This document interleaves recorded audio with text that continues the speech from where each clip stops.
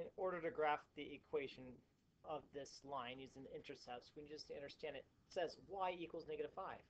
So y will definitely touch at negative 5. Negative 1, 2, 3, 4, 5. And there is no x-intercept. There's no x-coordinate at all. So this literally makes a horizontal line. That's just something we got to know. And there's the horizontal line right there.